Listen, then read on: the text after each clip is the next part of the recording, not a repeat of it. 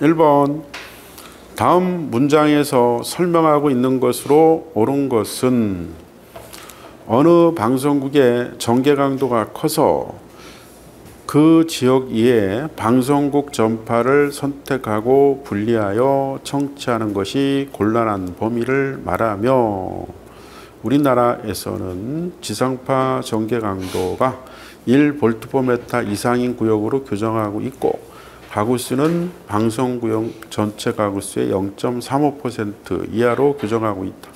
그러니까 여러분들이 어때요? 담요를 덮어놓은 것 같은 현상이 생겨버리는 거야. 담요 덮으면은 다른 방송이 담요 안으로 못 들어오지. 어, 이거를 어, 오렌캣 에어리어라고 얘기한다.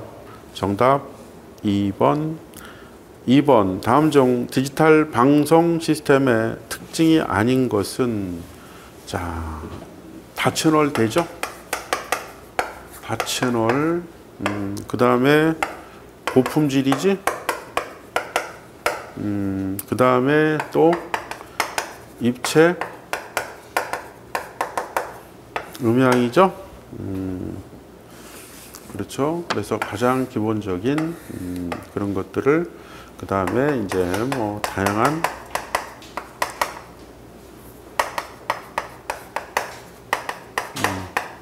이런 게 돼요. 음? 그렇죠? 이거는 주로 비디오 측면, 이거는 오디오 측면, 어, 이거는 이제 서비스 측면.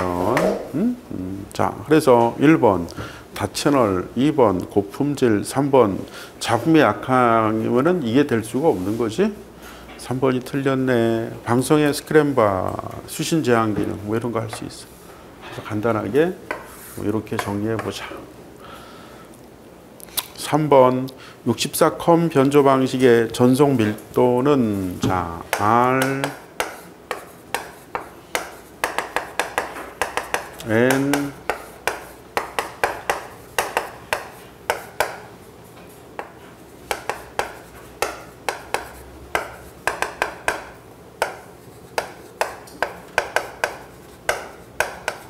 음, 이렇게 이렇게 지어주면 이게 되죠. 여기서 이제 요거를 다른 말로 뭐라고도 얘기해요. 팔찌라고도 얘기하는 거예요. 그래서 예, 여기서 이제 음, 요 n은 어, 넘어가면은 팔찌에 r 어, 이 bps가 되는 거죠. 음, 그래서 예, 요거는 이해가 되겠습니까? 음, 그래서 64컴의 전송 밀도는 이렇게도 쓸 수 있어요. 왜냐하면은 얘가 로그 2m에다가 b니까. 그래서 64니까 로그 2에 64. 음, 답은 6. 정답 3번